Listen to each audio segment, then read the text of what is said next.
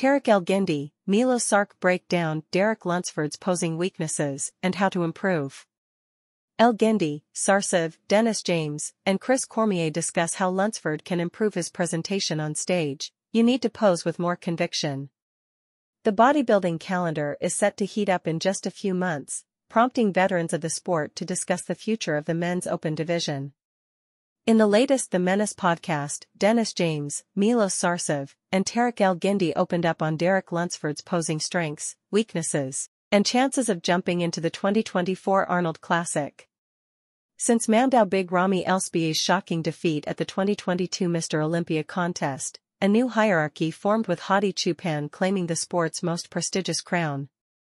Although the Persian Wolf's conditioning made for a daunting challenge at the recent 2023 Mr. Olympia event, Derek Lunsford's near-flawless back double biceps pose closed the show.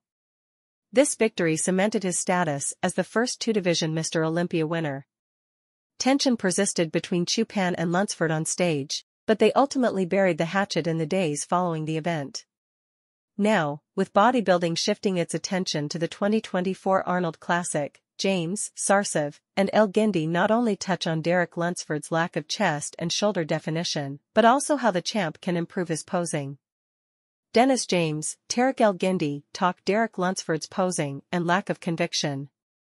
Despite Lunsford's victory, Sarcev wasn't convinced by his conditioning levels, specifically the chest and shoulders. Derek just from the back, striated glutes, and back double biceps. That's what he, that's him. And he was good on the side poses with the hamstrings but the upper body, Tarek, as the judges, saying the upper body his chest and shoulders, it was not comparable to quality and density, of Hadi Choopan, explains Milos Sarcev. Bodybuilding veteran Chris Cormier, who attended the 2023 Olympia, said Lunsford was the only bodybuilder who truly shocked him.